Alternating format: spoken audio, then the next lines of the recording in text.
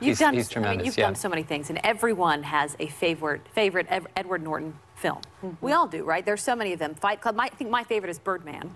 Oh, thank you. Oh, when yeah. you get stopped, what is the, the the movie that people stop you for the most? Well, Death to Smoochy, of course. Um, that's uh, Danny DeVito, you know. that- Um, no, um, you know, it's it's you know you've been lucky in a career when there's a when there's a spread of them that that different people relate to for different reasons. And um, I I I you know it's I, I never know what people are going to say, and it's always it's always a treat. I mean, you don't do this you don't you do this to connect with people. You know, you do this, and and people I think if people see themselves in a character, if they if or if they see their lives reflected in in in a film, it then then that's the kind of stuff that sticks in us. Yeah. It's it's the transparency in it.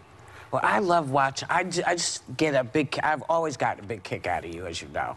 I just. I'm so blessed to watch you when you are just doing your thing, because it's.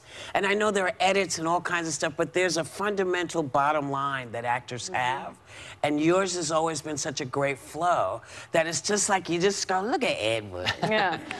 I know him. You know, you just are like, yeah, that's you want to grow up to be. Yeah, it's know? just fun to watch. Yeah. And what I also love about you is that you're really an outspoken activist as well. Yes. Um, Yes, off yes. camera. And um, we talk a lot about climate change at this table. Mm-hmm. And we had um, um, Benedict Cumberbatch uh, on yesterday. And Michael I think. Shannon. Yeah, and Michael Shannon. And um, Both great actors. Yes. Fantastic. And Benedict said, um, we're all complicit when it comes to climate change. We all take airplanes, and some of us have bigger cars and drive drive a- around a lot, buses. um, and I, I tend to agree with that. What, what do you think we need to do to get this under control? Well, I, I, I think that at this point, anybody who's denying that we're facing uh, more than a generational crisis, we're facing one of the, the real existential crises that we've ever faced as a human Yeah.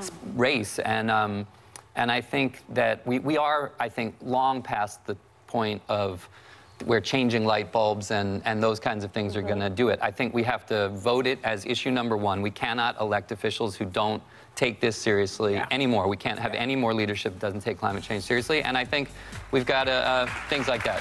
Yeah. Come back more. Just come back more. Our thanks to Edward Norton. Motherless Brooklyn is in theaters Friday. Go see it, November 1st.